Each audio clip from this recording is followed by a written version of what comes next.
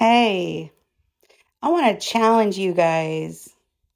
I have been in speech therapy almost all of my life and wearing hearing aids. So I want you to guess what I'm saying.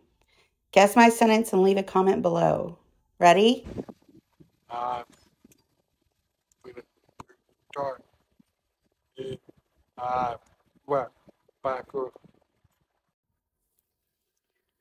I'd like for you hearing parents to understand how hard it is. Speech therapy is not perfect. It's not easy. Sign language is always easier to understand for us. And as for you deaf people, I want to challenge you guys. Show us how many years you've been in speech therapy, how many years you are wearing hearing aids, and was it successful? Can people understand your speech?